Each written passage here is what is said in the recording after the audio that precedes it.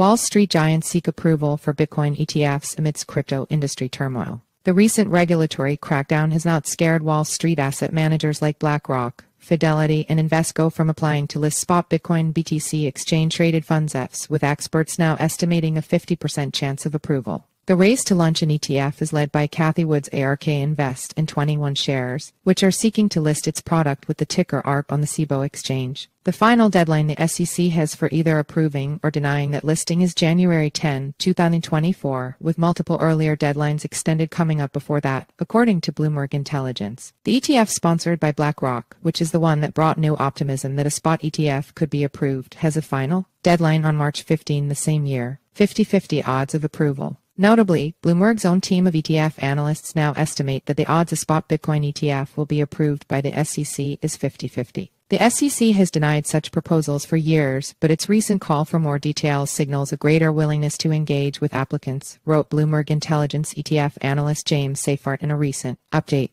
BlackRock ETF filing boosts Bitcoin. The filing of BlackRock's ETF application with the Securities and Exchange Commission SEC on June 16 has already led to a massive rally for Bitcoin, despite no confirmation or even indication from the SEC that the application will be approved. Instead, it appears traders are betting that BlackRock, a Wall Street heavyweight with deep political, Connections has the influence in Washington that is needed for its application to be approved regardless of past rejections. Since June 16, the spot price of Bitcoin is now up by about 22% from less than $25,600 on the day of the filing to $31,300 as of today, indicating just how bullish the market sees an ETF filing from the firm. Experts predict positive outcome. Earlier this month, Sui Chung, CEO of the crypto index provider CF Benchmarks, revealed that he is very optimistic about the SEC finally approving a spot Bitcoin ETF with all of the new filings that are now on the table. We are very optimistic that approval will be granted by the SEC because the SEC has consistently stated that it wants to see certain safeguards in place, Chung said, while pointing to information sharing.